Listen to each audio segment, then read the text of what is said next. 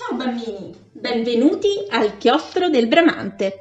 Io sono Elisa e oggi leggerò un libro per voi. È un libro bellissimo realizzato da un illustratore che si chiama Fausto, Fausto Gilberti. È un grande appassionato di arte contemporanea, l'arte dei nostri giorni.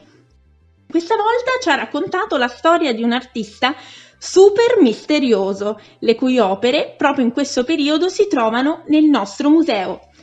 Venite con me.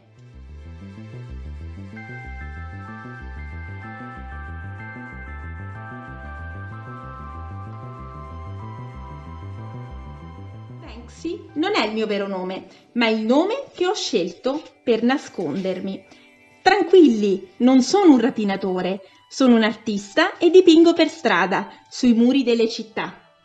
Anche se farlo, non so se lo sapete, è proibito dalla legge per questo mi nascondo, per non farmi arrestare dalla polizia. I dipinti che faccio sui muri si chiamano graffiti. Uso bombolette di vernice spray nera e mi piace dipingere soprattutto topi.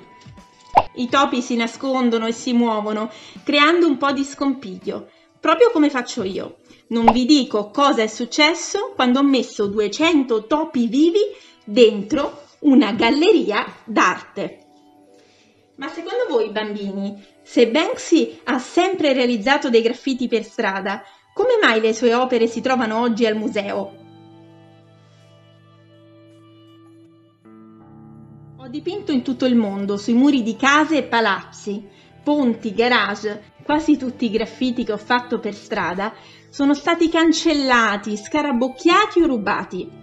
Così ad un certo punto ho deciso di dipingere anche dei quadri.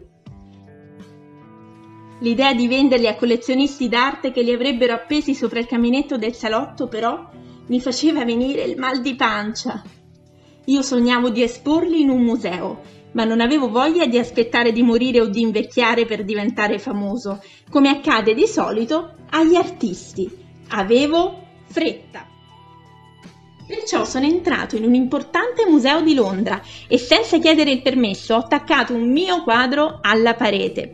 Per non farmi riconoscere ho indossato un cappello, un cappotto e poi mi sono messo naso e barba finti.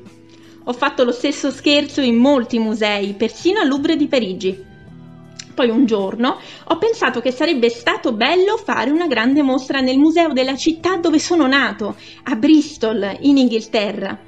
Quella volta però ho chiesto il permesso al direttore, che ha detto di sì. Pensate bambini, c'è un'opera qui al museo molto famosa, famosa davvero in tutto il mondo. Tutti la conoscono, tutti l'hanno sicuramente vista almeno una volta. Esatto, è proprio quella a cui state pensando. È la ragazza con il palloncino.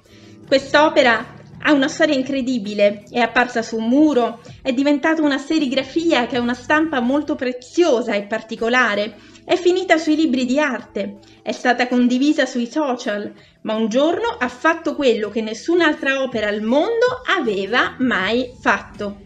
Si è autodistrutta.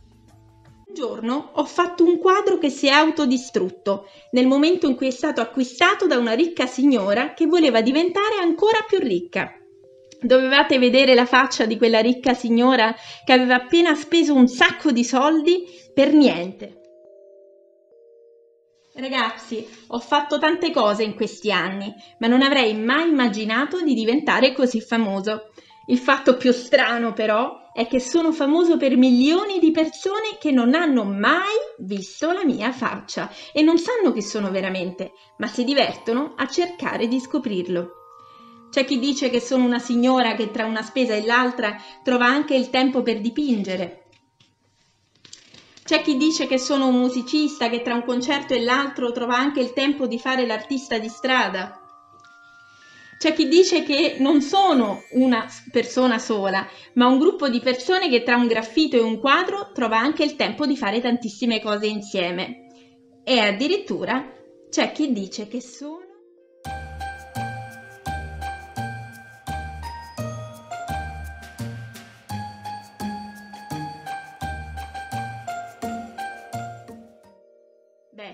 Se proprio volete saperlo, non vedo l'ora che qualcuno lo scopra.